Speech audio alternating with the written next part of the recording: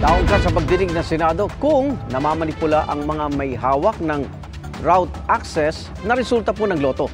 Naglabas din ang hinaing ang mga loto agent na nawala ng kabuhayan na magsara ang mga loto outlet. Ang tugon ng PCSO sa pagsaksi ni Mab Gonzales. walang proper safeguards, pwede bang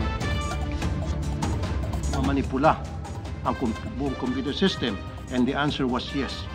Muling hinungkat sa Senado ang posibilidad na maglabas-masok sa sistem ng Philippine Charity Sweepstakes Office o PCSO ang may hawak ng tinatawag na root access.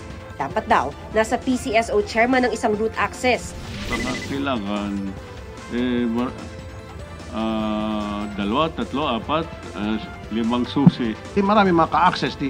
Pero kailangan po magkakasama sila para mabuksan. Yun po ang Oh, ibig kong okay. Hindi po pwedeng isang tao lang ang magbubukas. Gingit ng PCSO Office of the General Manager, hindi porke may root access, pwede nang mamanipula ang lotto winners. Pwede lang makita ang ilang impormasyon tulad ng bilang ng tumaya. May third party rin daw na nagbabantay pag may lotto draw.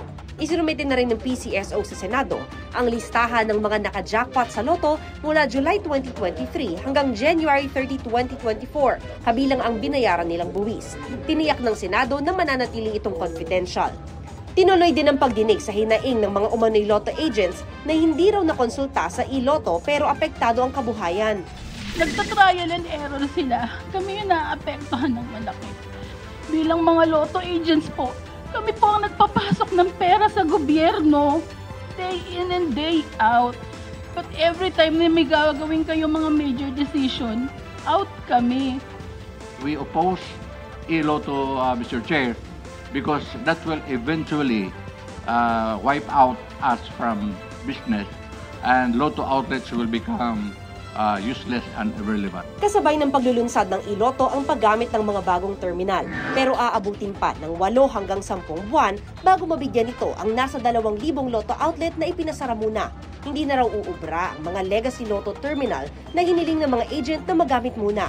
The legacy system or terminals are actually end of life already, Mr. Chair, and is not compatible with the Philippine lottery system. And it is no longer feasible, Mr. Question din ang pagbibigay ng 3-digit lotto game sa Small Town Lottery o STL. This was approved by the Office of the President. Siyempre, kayo po ang nagpipid niyan. Anong pakialam ni Presidente BBM sa mga polisiya sa loto? He's so busy with bigger problems that we have in our country. Not the three-digit game. Hahanapan daw ng solusyon ng PCSO ang pagkawala ng kabuhayan ng lotto agents at tellers. Bago nito, pinalutang ng mga senador ang pagtigil muna ng bola ng loto habang iniimbestigahan ang integridad nito. mathematically improbable. Sunod-sunod, pare-pareho pa yung apelyido ang nananalo. Ano ba yan? Kabulastugan na yan. And uh, I'm very happy that uh, they're finally investigating it. Sabi ngayon ng Senate Minority Leader, dapat bantayan ang nangyayari sa pagitan ng bola at anunsyo kung may nanalo.